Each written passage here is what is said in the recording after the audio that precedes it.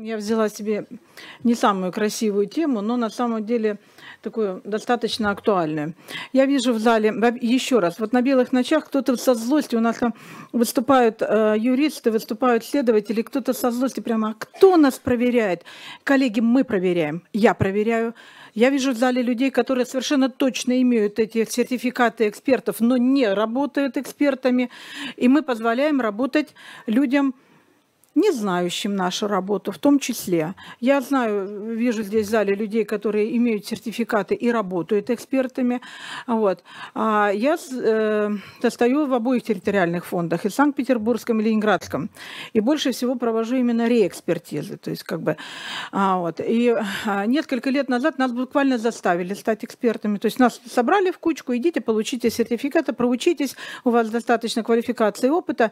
Ну а потом так потихонечку позвонят из Терфонда, позвонят из страховой компании, судебно-медицинская экспертиза, не могли бы вы нам сделать вот экспертизу там по жалобе для суда и так далее. Ну, я человек любопытный, вот мне было просто интересно. А, а, пирожки печь не, не люблю, дома сидеть не люблю, сижу, работаю. Потихоньку, потихоньку. И вдруг в прошлом году вот этот шквал просто истории, вдруг Терфонд Санкт-Петербурга, а посмотрите, 50 историй. И вот так вот со всей... И потом в этом году уже со всей страны. Правда, я... Э, от Сахалина до Калининграда, от Севастополя до Архангельска. Я звоню туда, а зачем? Как бы у вас что, своих нет? И вдруг действительно говорит, а что вы хотите? Ну, предположим, там, в такой-то области, а у нас же один онкологический диспансер, и мы друг друга и проверяем, по сути дела. Понимаете, то есть действительно они шлют эти истории болезни, ну вот в федеральные учреждения, потому что там в другие регионы, чтобы на них посмотрели другими глазами. А, ладно, а теперь вдруг еще стали посылать большое количество историй как раз с несогласными. Вы знаете, прямо вот их, им уже провели экспертизы, и доктора на местах, э, а, а мы не согласны, отправьте другому эксперту. То есть вы, я прям читала письмо из одного из регионов, да мы не согласны с квалификацией вот нашего эксперта, пожалуйста, отправьте на экспертизу доктору, который занимается лечением этих опухолей. То есть еще раз, я не сотрудник страховой компании, я такой же врач, как и вы, я всего лишь заведующий отделением. Только имею огромный опыт работы в своей области, ну и э, достаточно любопытно, чтобы заняться чем-то еще. Я сегодня попытаюсь рассказать, что, что я вижу. То есть как, как, что я вижу как врач и что я вижу как эксперт.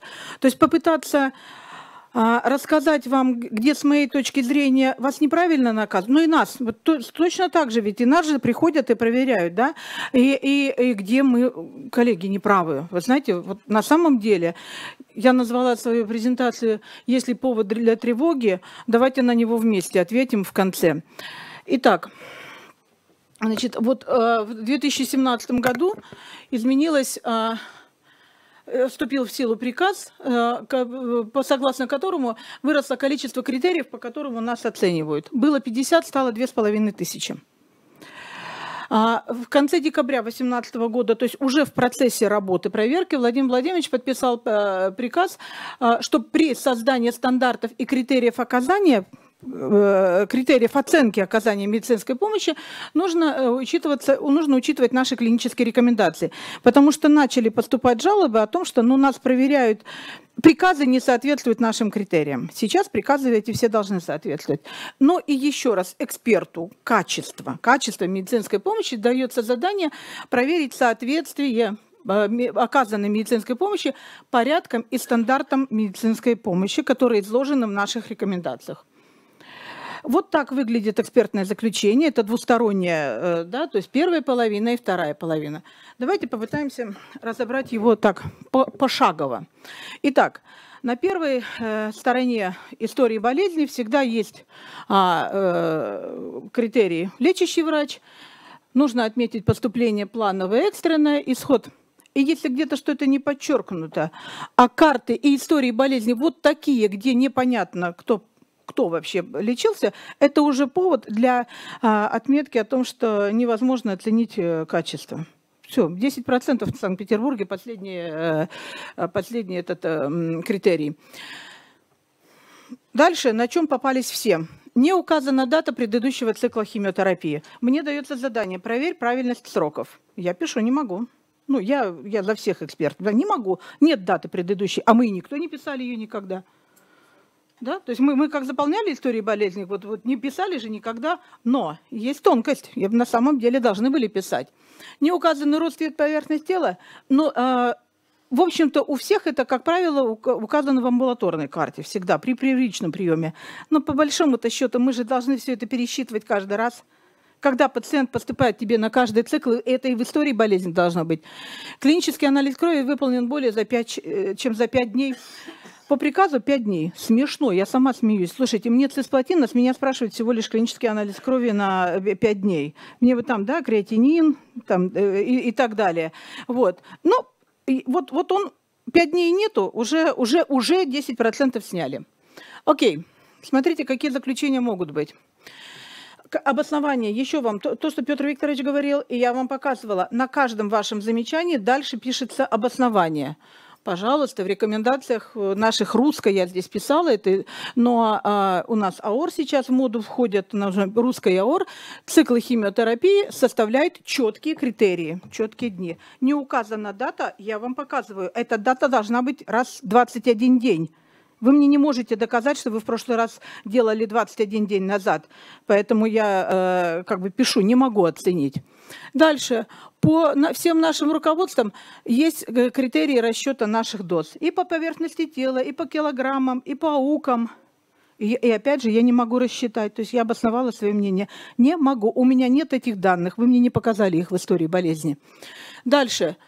Анализ крови, зачем там за пять дней должен быть анализ крови выполнен? Да потому что у нас везде в наших справочниках пишется, что э, в среднем э, химиотерапия начинается при показателях крови, ну, лейкоциты хотя бы не ниже четырех. Ну и вот в этот приказ. Хотя приказ не является обоснованием, но я вам его показываю. О том, что а, в этом 203-м э, приказе а, об оценке критериев качества при всех локализациях, это просто взято у меня легкое, э, анализ, клинический анализ крови должен быть выполнен не больше, чем за 5 дней до проведения химиотерапии. И я хочу сказать, что мы сейчас раз, э, прорабатывали совместно с Москвой, с московскими МИЦами рекомендации АОР, и там в каждой рекомендации внизу внизу уже идут вот эти критерии качества. Прямо в наших рекомендациях они будут. Рак легкого и внизу критерии оценки качества. Не просто э. Понимаете, все, уже обосновала. Ой, а что значит не надо писать? А вот еще десятый год. Ну, не так и давно, но, в общем-то, достаточно старая книжка. А на самом деле все должно быть а, а, указано в нашей книжке. Все, кто занимается химиотерапией, читают. Мы гордимся тем, что мы читаем зарубежную литературу. Ну, десятый, всяко за, несколько лет до, 16, до 17 года. Мы должны писать это все дело. Ну и выход. Качество медицинской помощи ненадлежащие. Приказ 36Н, я уже сейчас новый вставила, пункт 4.2, о котором э, шла речь, отсутствие результатов обследования, осмотров, консультаций. Все, если чего-то нет, Информированное согласие. Слушайте, до сих пор встречается, я проверяла целый регион, из 50 историй, что как в пяти точно нет. Но остальные даже уже внимания не обращала. Регион присутствует, кстати, здесь. Не знаю, это же учреждение или нет. Но, но там уже, где вместо больного расписался врач, я вижу, ну уже, ну нет, не подделка подписи, а просто местами напутано, да. А, я вижу, что больной где-то сбоку, врач на месте больного, по большому счету, при желании ведь можно и сказать, что и здесь информированного согласия нет. Я уже не придираюсь даже к тому, что там написано, но его, в принципе, оно пустое в истории болезни вклеено. Понимаете? Вот. То есть банально, мне даже трудно перечислить, чего там не может быть. Еще раз, 203 Н, приказ по локализациям, прямо к себе на стол, пока на него смотрите, и наши рекомендации. РОСКО, АОР, лечите больного, назначаете обследование. А, один из регионов – рак легкого. Звоню, ребят, а что у вас, ни у которого из пациентов нету КТ головного мозга? У нас нету. КТ-аппарата, МРТ-аппарата нет в принципе в регионе. Но это, это же не, не их вина, но это, опять же, повод для того, чтобы снять денежку. КМП ненадлежащие. По крайней, по крайней мере, пункт 4.2 невозможно оценить. Ой, коллеги, бога ради. Нет термина «относительно удовлетворительное состояние». Относительно чего? Кровати, на которой он лежит. Ну, бога ради. В 95% истории болезни я могу написать неправильная оценка или неточная оценка состояния пациента. Ну уж о том, что ЭКОК и Карновский используются только в Санкт-Петербурге и в Ленинградской области, я просто молчу. То есть ни в одном регионе страны, кроме Питера и Ленинградской области, э, вот четыре буковки статус по шкале ЭКОК я не встретила в принципе. У всех относительно удовлетворительное состояние. И очень аккуратно пишите состояние средней тяжести. Я не все, конечно, истории здесь у меня в примере есть, но на моей памяти есть амбулаторная помощь Санкт-Петербурга. Знаете, какое заключение от доктора? А, состояние средней тяжести срочно, госпитализ... Э, срочно направлен а, в городской онкологический диспансер.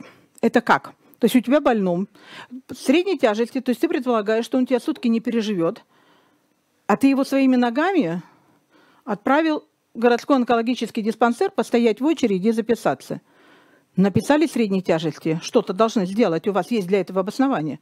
Под, э, то есть, в принципе, как нас научили на КМП, грубо говоря, это вы предполагаете, что пациент не переживет сутки. То есть вы его либо в хоспис, да, по, по какой-то причине, либо его в скорую помощь, а не своими ногами за 40 километров для оказания амбулаторной помощи. Дальше. В том же экспертном заключении я переписываю диагнозы, да, основное осложнение сопутствующее. Но о том, что многие вообще игнорируют этот пункт, это я молчу. То есть как бы я уже могу написать, что осложнение там не указано. Вообще в принципе нет этой, ну вот просто слов никаких. Даже если не было осложнений, ну напишите «нет». Потому что это уже повод придраться. Нет информации об осложнениях. Опять можно выставить 4.2. А дальше вот это. Это пункт, который доктор, оце... э, как эксперт оценивает написание диагноза.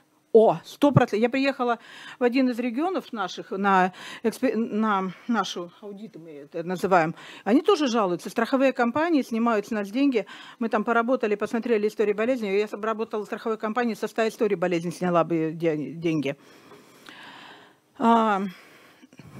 И обоснование негативных, э, вот начнем с обоснования негативных э, ошибок написания диагноза. Еще раз, оценивается написание именно диагноза. Как мы пишем диагнозы? Коллеги, существуют методические рекомендации. Анна Сергеевна учит наших клинических ординаторов и всех. Она называется «Правила формулировки патологоанатомического диагноза». Но Правила распространяются на заключительные клинические и судебно-медицинские. Именно для того, чтобы была возможность их сравнить для судебно-медицинской и экспертизы. И э, это является документальным свидетельством профессиональной квалификации врача. Я всегда говорю, тот, кто ясно пишет, значит, он ясно мыслит. Если ты хорошо написал диагноз, ты хорошо представляешь своего пациента. Диагноз должен быть развернутым, и своевременным и динамичным. То есть мы описываем то, что происходит с пациентом в 2000 мохнатом году, в 2018 году. Большей части это касается клинического диагноза. Основные требования э, к формулировке клинического, патологоанатомического и судебно-медицинского являются едиными. И соблюдение этих требований э, должно быть неукоснительно для врачей всех специальностей и всех медицинских организаций. Зачем нужно написать правильный диагноз? Выписной пикриз. Я когда, это не нашего учреждения, я когда показала вот этот пример, мне просто хотелось показать, насколько это правильно, ну как бы, насколько важно правильно написать какие-то буковки, циферки. Ну, на, наши хирурги очень возмутились, мы прям поссорились. Вот на трех страницах выписной пикриз. Четко, красиво, много написано, правда? То есть он такой напечатанный, все понятно. Диагноз рак яичников. Но я уже молчу о том, что указаны торговые наименования, а не международные. Я молчу о том, что прогрессирование с июля тра-та-та, и, а, то есть не указано здесь даты ни окончания химиотерапии, ни, ни прогрессирования нового. Как специалист я вам говорю, что я уже не могу оценить платиночувствительный и платинорефрактерный рак яичников. То есть вот, да, но я в данном случае дана экспертиза вот именно этой истории болезни. Есть еще разные вещи. Когда ты экспертизы проводишь одной истории болезни, которая у тебя вот здесь сейчас, а есть когда всей вот ситуации за многие годы, как раз для судов. Да? А, а э, в настоящий момент 9, пациентке проведено 9 курсов химиотерапии по схеме биоцизума плюс гемцитабин плюс карбоплатин, добились частичного регресса. Осложнения на тот момент были анемия легкой степени тяжести. Я подчеркнула, сопутствующие заболевания соматически здорово. Правда? Класс. Дальше. Вот те, кто химиотерапевты, я надеюсь, увидят, о чем я говорю. 21 марта выполнена э, большая э, перитонэктомия, пациентка иногородняя.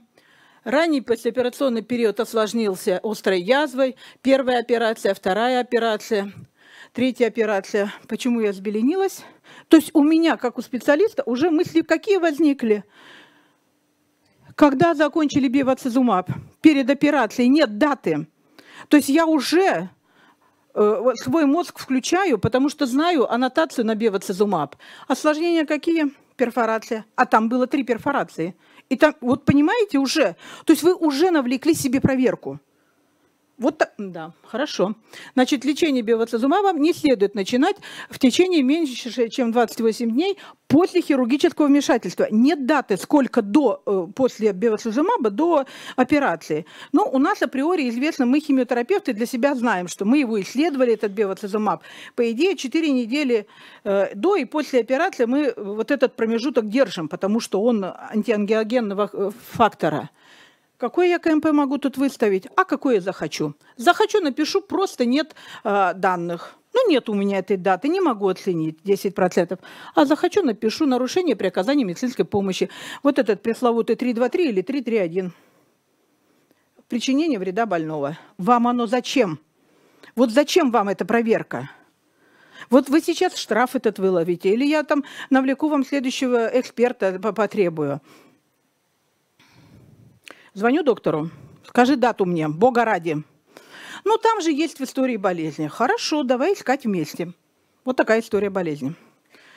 Я, я внимательно смотрю. Слушайте, практически вся написанная от руки. Где-то в середине истории болезни мы находим эту дату в приемном статусе. Прием... Понятно, что у больного 135 переливаний крови, реанимация, да, то есть приемный статус оказался где-то впереди.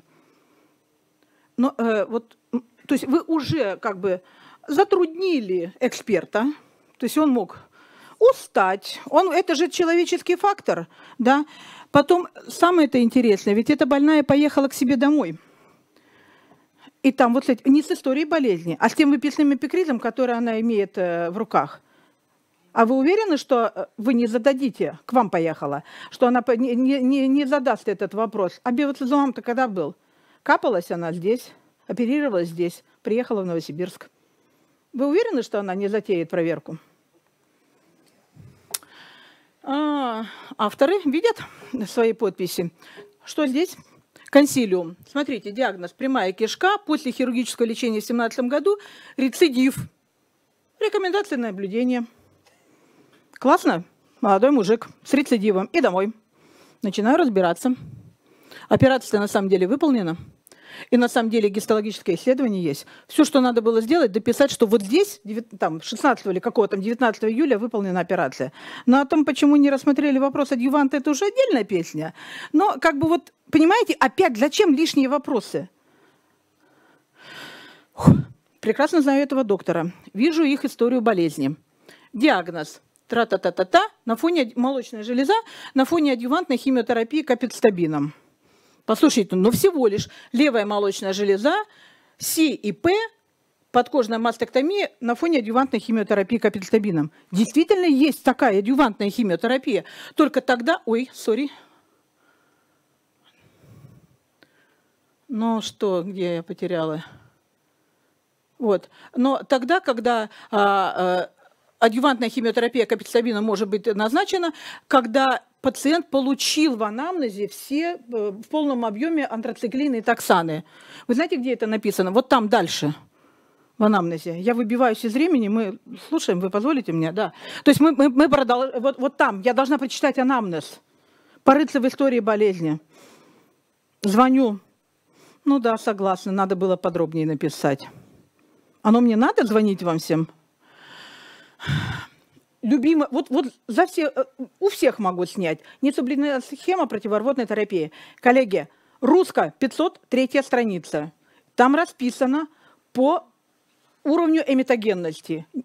То, что именда нет ни у кого, и цисплатин у всех капается, и провоцируется условно-рефлекторная рвота, я вас уверяю. Но даже умеренно э, эметогенная химиотерапия, она все равно должна правильно проводиться. Во-первых, в процедурном листе нужно написать, что вы анденсиндрон и дексаметазон сделали до химиотерапии. Надежда Александровна вчера нам рассказывала. До, а не после химиотерапии. И дексаметазон еще, обратите внимание, он на второй, на третий день еще есть.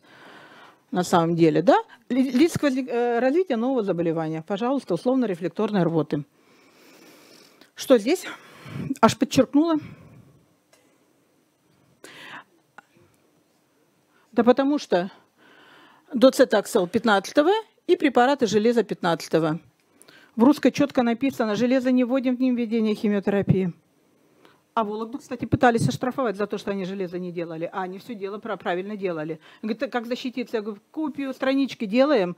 То есть вот здесь тоже. А эксперты, кстати, э, тоже про противорвотную терапию. Мне приходилось защищать докторов, которых э, предыдущий эксперт обвинил в непроведении противорвотной терапии приходится тоже писать. А это низкометагенная схема. Там и не требуется. Защищайтесь, если вы уверены, что вы правильно сделали.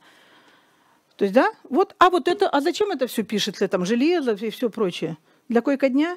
Коллеги, сейчас не нужен койко-день, пожалуйста. Не нужно лишнего рисовать, вы сами себе подводите. Ну и все.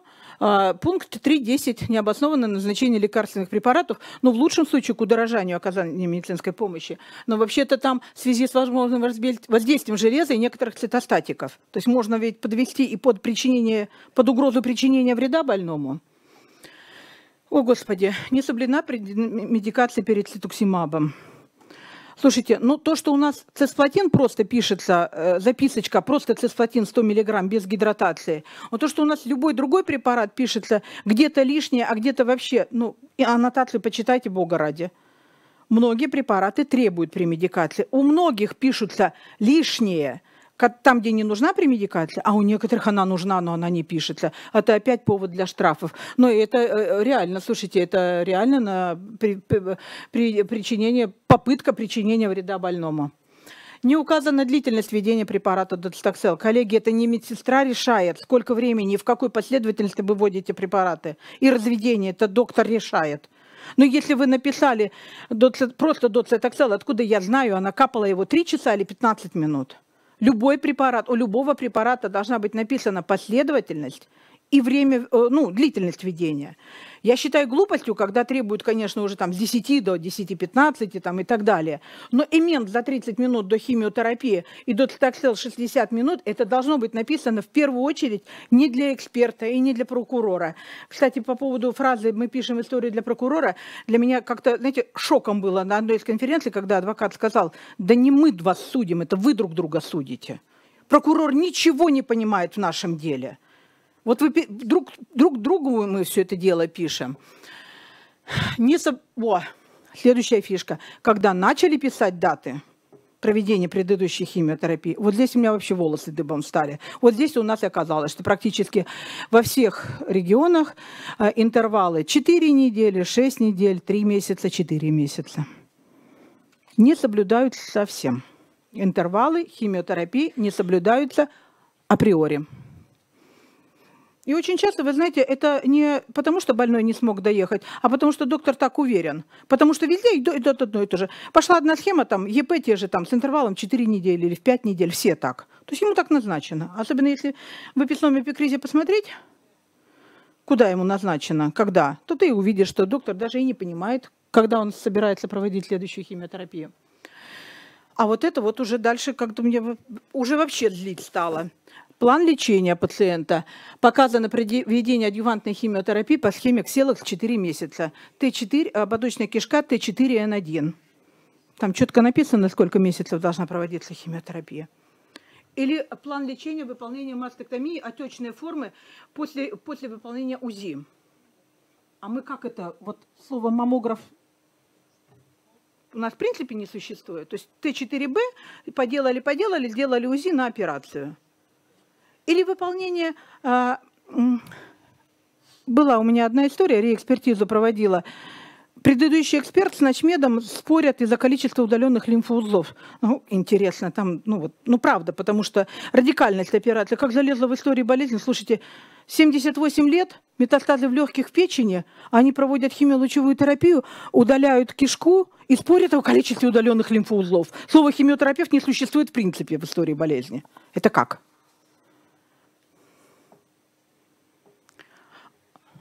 Нравится? А, сори, извините, я вроде стараюсь. Это, а, а смешно, правда? Процедурный лист. 17 историй болезней болтаются по стране от эксперта к эксперту во всех такие процедурные листы. После смерти пациентки жалоба Путину. Одно из обвинений в превышении доз. Или в недовышении. Как? Вот что написать? Ой, дальше идет раздел преемственность. Вот видно, обоснованность поступления, длительность лечения, перевод, содержание рекомендаций.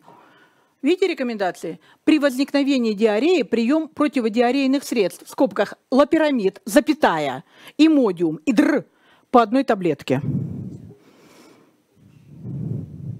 И модиум, запятая, лапирамид по одной таблетке. Бога ради, для лапирамида он же имодиум, существует определенная схема. Вы знаете, ее надо прописывать. Лапирамид не принимается по таблетке три раза в день. Да, понимаете, это, это не одна история, это, не, это, вот, это типичные, правда, это правда. Потому что человек умрет от диареи, это дальний край. Он, он умрет от диареи у вас. А еще, например, э, у нас, Валерий, чем была ситуация, когда у нас молодой мальчик в судороги на отделение ушел. Мы не сразу поняли, в чем дело. А там, знаете, по доброте, у него тошнота была, ну, у нас еще не было тогда эмендов.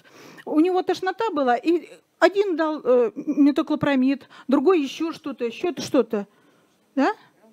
Все препараты имеют свои осложнения. Мы мальчишку из два вытащили от осложнений противорвотной терапии, которую все, кому не лень, делали. Медсестра, мама, бабушка, доктор. Рекомендации должны быть четко. Сейчас еще покажу преемственность. Любимое мое учреждение. Вызывают. Лена Викторовна, приходи экспертизу проводить. Жалоба на трех страницах. Продал машину, продал квартиру, а, а э, меня не вылечили. Доброкачественное образование в носовой полости. Была дважды попытка операции минимальной в других учреждениях. Пришел в крупное онкологическое учреждение, ему выполнили операцию. А, извините.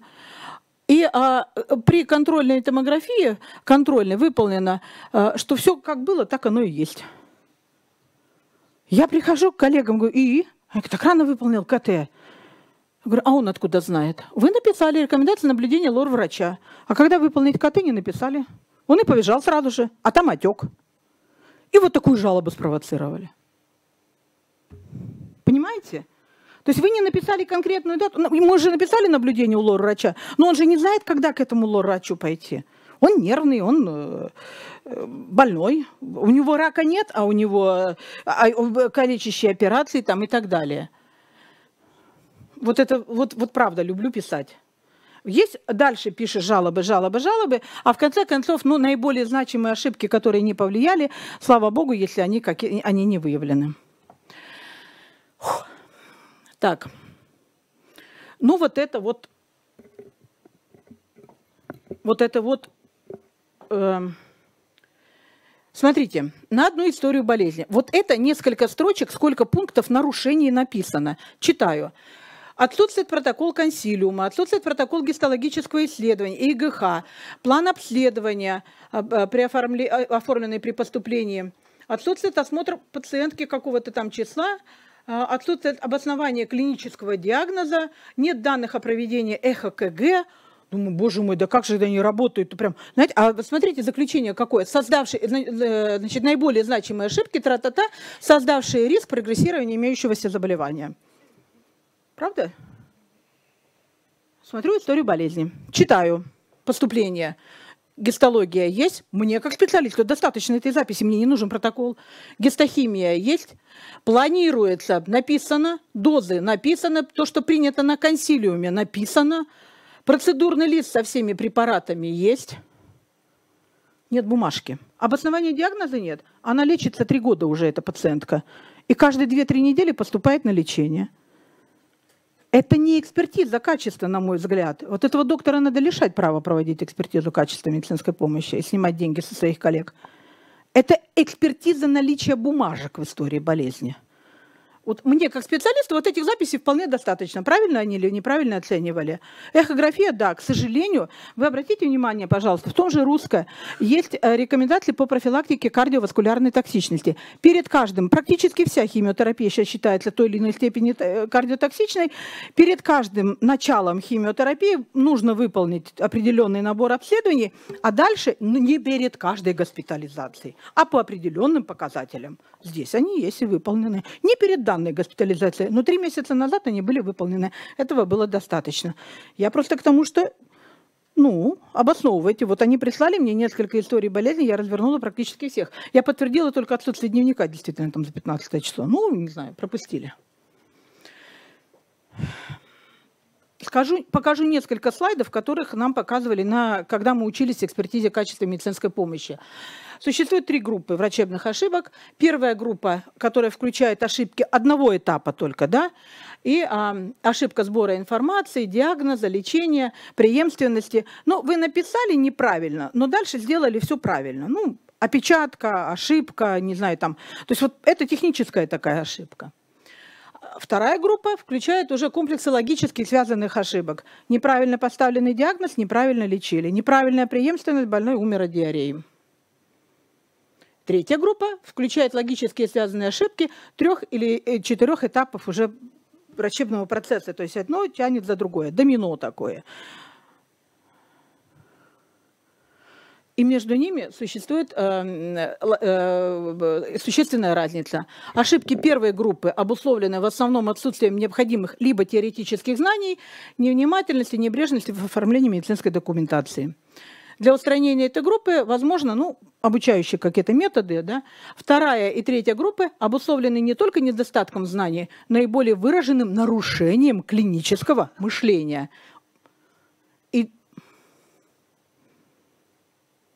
Для устранения ошибок этих групп необходимо не только восполнить объем знаний, но и совершенствовать логические свойства специалистов. Проверяя истории болезни пачками, вот я сегодня выходила, это мне 140 историй привезли из одного из регионов. Вы знаете, я прямо смотрю, у одного одни и те же ошибки. Это по врачам уже понимаешь. У другого вообще никаких ошибок. В той же самой группе, в тех же самых условиях работает. То же самое отделение. А я легко могу сказать, вот задумайся о том, тебе нужен этот доктор. Мы же еще и рекомендации дальше пишем. Было дело поначалу, я как-то написала в регионе, там все, что было написано от руки, компьютеры докторам поставьте, пожалуйста, в рекомендациях. Мы дальше пишем рекомендации еще. И я совершенно спокойно могу высказать свое мнение. У вас этот доктор не обладает ни достаточными знаниями, ни логическим мышлением. И работать ему у вас... Пройдите обучение еще раз. Ну вот еще один слайд, который вообще обидел меня в свое время и заставил задуматься о том, что мы, на самом... мы все плачем, что мы много работаем, но работа наша непродуктивна. Мы работаем, денег не получаем. Благодарю вас. Еще парочку слайдов. Если позволите. Значит, на, мы, я тоже приглашаю вас на белые ночи. И мы вчера вот дополнила этот слайд. Мы очень благодарны вам. Мы рады и надеюсь, что у нас получилось. Мы хотим обратной связи. Мы хотим, чтобы вы общались с нами. Я сейчас обращаюсь к людям, сидящим в зале и которые смотрят нас на экране. Вносите свои предложения, мы открыты для общения. И я думаю, что мы в следующем году повторим подобную конференцию. И если есть желающие вот сюда встать, welcome. Мы будем только рады. Пожалуйста, ваши предложения по вашим выступлениям, по проблемам, по тематике. Мы готовы выслушать на экране наши телефоны и почты. Спасибо вам большое всем.